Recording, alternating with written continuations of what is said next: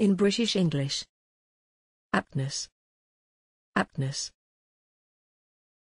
aptness, aptness,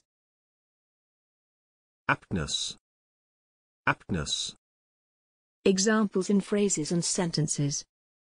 the aptness of the punishment.